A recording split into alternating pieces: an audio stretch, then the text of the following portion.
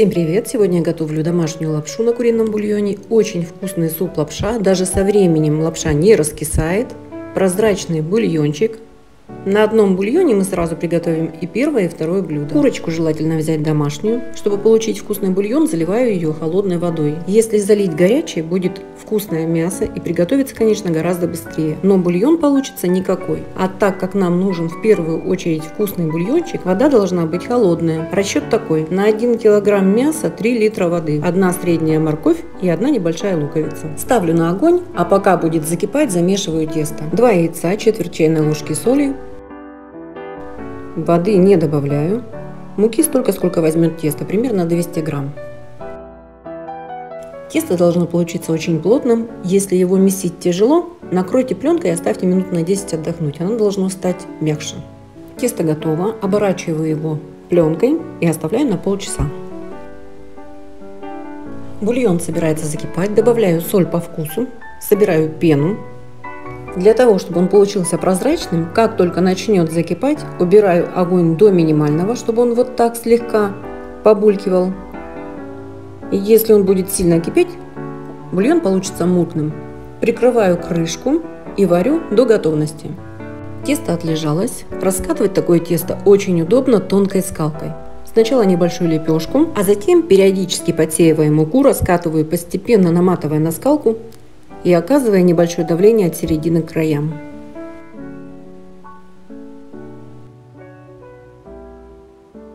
Я прикладываю больше давления на края и практически не давлю на середину.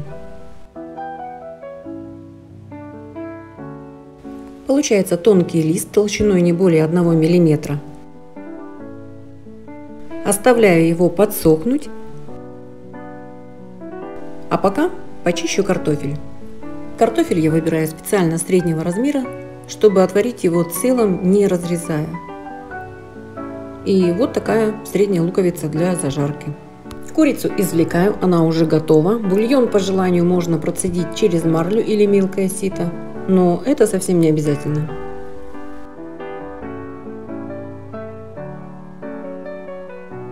Пробую бульон на соль и закидываю картофель. А пока картофель варится, сворачиваю лист теста вот таким образом. Если тесто еще не подсохло, подсеиваю муку, чтобы оно не слипалось. Затем разрезаю посередине, вдоль.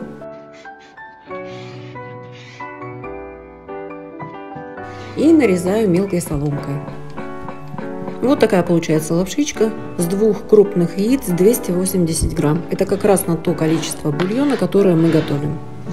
Курицу можно отделить от костей и мелко нарезать, а можно разделить по суставам и оставить крупными кусками, кому как больше нравится.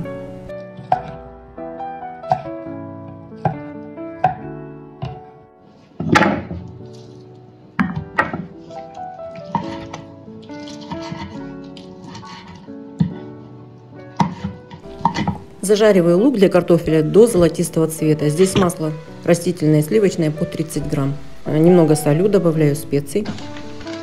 Картофель готов. Сверху выкладываю луковую зажарку. Бульон довожу до кипения, засыпаю лапшу. После того, как закипит, варю одну минуту. И все готово. Посмотрите, какой получается прозрачный бульон. Такая лапша очень вкусная, не разваривается. М-м, а какой стоит обалденный запах, это не передать словами. На картофель можно сверху выложить курицу, а можно только луковую зажарку и селедкой. Спасибо за то, что оцениваете мои видео, делитесь ими с друзьями. А сегодняшний рецепт очень хороший, проверенный многими поколениями. Готовьте с удовольствием, сохраняйте. Надеюсь, он вам еще пригодится и не раз. Если вы еще не подписаны, заходите на мой канал. У меня много хороших, интересных рецептов. Подписывайтесь, чтобы не пропустить все самое интересное. А я вам желаю всего хорошего. До новых встреч. Всем пока.